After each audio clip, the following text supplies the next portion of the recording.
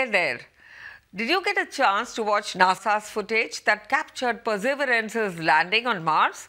I don't know about you, but we can't simply get enough. What is interesting is that a parachute that helped the rover land had a hidden encoded message. Now, did you know that?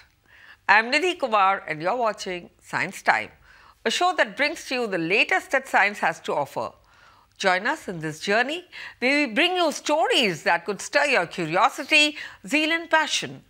In today's episode, we will talk about Mars rover's parachute, Sun's differential rotation, and how cetaceans can protect themselves from cancer, and single dose COVID vaccines. Without further ado, let's dive into our program. Our first story puts a spotlight on a hidden message etched into the parachute's underside that helped Perseverance land safely on the red planet. NASA released footage of Perseverance's touchdown. As the rover plunged into Mars' thin atmosphere, the parachute exploded open. Its job was to slow down the rover from about 12,500 miles per hour. The parachute in question is anything but ordinary, measuring 70 feet in diameter the parachute was the largest ever sent to Mars.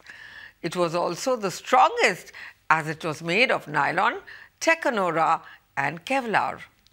During a press conference, scientists revealed that the parachute had a secret binary code. It didn't take long for certain enthusiasts to decode the message. The message was Dare Mighty Things, a quote from the former US President Theodore Roosevelt also mentioned was the GPS coordinates of NASA's Jet Propulsion Laboratory in Pasadena, California. All of this is pretty amazing, isn't it? So there's a lot to look forward to from this mission. From perseverance hunting for clues on ancient microbial life to the first helicopter flight on another planet. Watch out. And moving on from Mars, did you know that the sun rotates on its axis, but that it is quite different from the Earth and other planets. The sun's equatorial regions rotate faster than the poles. Scientists call this differential rotation. Recently, a team of Indian researchers have collected data on the sun's rotation in the last 100 years from footages thanks to the Kodaikanal Solar Observatory. You might be wondering why one should study the sun's rotation. Well, we'll connect the dots for you. As you might know, the sun is a ball of hot plasma. As it moves, it generates a magnetic field which flips every 11 years. When this happens, the sun's behavior changes, causing it to fluctuate between periods of high and low activity. And this is called the solar cycle. The solar cycle is something to watch out because it impacts space weather, which can interfere with satellites, astronauts, and GPS signals. Predicting the solar cycle could help us avoid adverse effects. So scientists rely on an essential feature of the sun, sunspots. These are dark and cool spots appearing on the surface. In these regions, the magnetic field's intensity is higher than that of the other parts of the sun. It is 2500 times stronger than Earth's impressive, isn't it? Now you might be wondering why sunspots appear in the first place. As the sun rotates, the magnetic field twists and tangles a lot of twisting of the magnetic field can give rise to many sunspots. These more larger sunspots have a higher magnetic field and hence rotate slowly. On the other hand, smaller ones have a lower magnetic field causing them to rotate relatively faster. With this, scientists hope to predict solar cycles and space weather. And moving on to our next story, very interesting one that is, Whales, dolphins and porpoises do a better job at evading cancer than humans. And now we might be closer to understanding why cetaceans can do this. The larger the number of an organism, the more number of cells it has and thus a higher risk that some of them could become cancerous. But whales and dolphins are outliers as they have evolved ways to protect themselves from cancer. How, you may ask?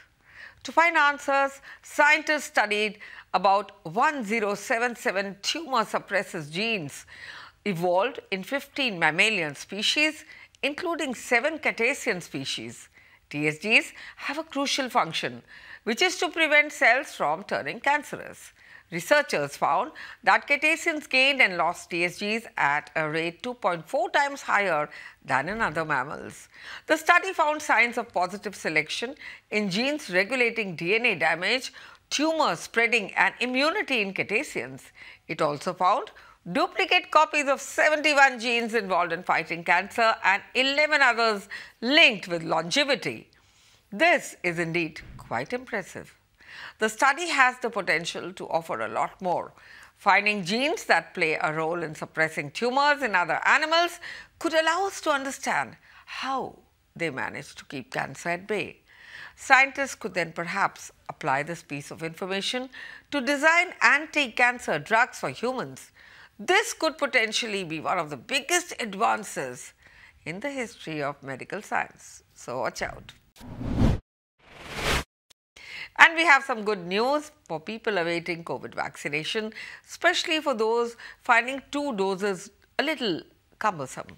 Studies have given us reason to believe that a single dose COVID-19 vaccine might enter the market very soon. A recent study found that a single dose of Oxford AstraZeneca vaccine offered 76% protection against COVID-19 symptoms within 22 days and single dose vaccines could help countries facing vaccine shortages and scarce resources. The strategy could mean more people will have access to COVID-19 jabs, but remember, vaccines are important and will help you keep the virus away. So maintain social distancing, mask up and register yourself on the CoWIN app. Go get your vaccine, India.